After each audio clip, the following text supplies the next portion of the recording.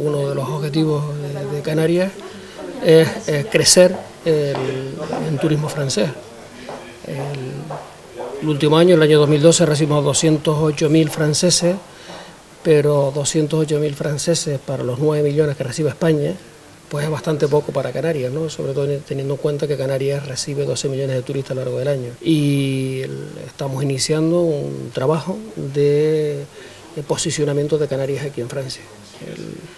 Trabajo lo comenzamos el año pasado, ya hemos crecido un 5% aquí y con la ministra hemos estado compartiendo trabajo. hemos quedado en dos líneas de colaboración muy interesantes. una es la formación. Eh, estamos interesados en intercambiar experiencias eh, de formación para quienes se dedican al sector turístico y por otra parte la ministra ha mostrado mucho interés en conocer eh, cómo eh, trabaja Canarias en todos los, temas, todos los temas relacionados con las promociones turísticas, es decir, eh, cómo funciona Turismo de Canarias, Promotur, la empresa que se dedica a hacer la promoción de Canarias. En ese sentido hemos abierto una línea de, trabajo que veremos mm, cuando concluya si propiciamos un seminario conjunto en, estas dos, materias. Y por otra parte, bueno, pues las reuniones que vamos a mantener con todos los sectores de la turoperación y de las agencias de viajes eh, francesas en colaboración con la Oficina de Turismo de, España aquí en, París y con la participación de más de un centenar de eh, agentes que tienen que ver con el sector turístico francés. Es muy importante, está en la línea de trabajo que nos hemos marcado, que no es otra eh, que ampliar los mercados de los que nos nutrimos. Es decir, eh, Canarias está en una estrategia de mm, ampliar la base de los mercados que sirven para que Canarias sea una potencia turística en el mundo al mercado español, al mercado británico, al mercado alemán, queremos sumar lo que significa las potencialidades de un mercado como el francés, el polaco o el ruso.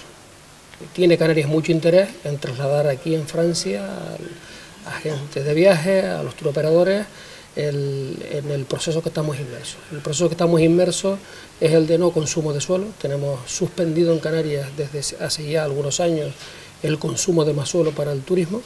Estamos en un proceso de renovación, de modernización del sector turístico, es decir, tirando viejo y construyendo nuevo, o rehabilitando, renovar, rehabilitar y renovar.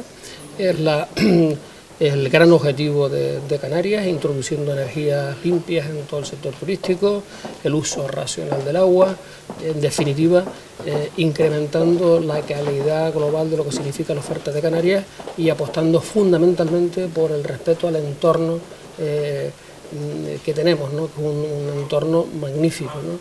Por eso creemos que estamos en condiciones de continuar este proceso de recuperación de lo que es la presencia de turistas franceses en Canarias. El turista francés se encuentra más cómodo en destinos donde pueden expresarse en, su, propio, su propia lengua. ¿no? En Canarias estamos en un proceso que entra dentro de la formación del aprendizaje aprendizaje eh, eh, en general, ampliando la base del conocimiento de los idiomas, tanto del inglés como del francés. El inglés ha sido hasta ahora el, idioma, la segunda lengua que tradicionalmente mm, todo el mundo optaba, pero en Canarias el francés, y esta es una de las cuestiones que, le planteó la ministra, el francés, el francés empieza a tener mucha relevancia no solamente pensando en las capacidades que tiene Canarias para absorber turistas franceses, que de por sí es muy importante, sino también pensando en el otro gran eje estratégico de la economía canaria, que es la internacionalización de su economía. La internacionalización de su economía mirando a todo lo que es el África occidental.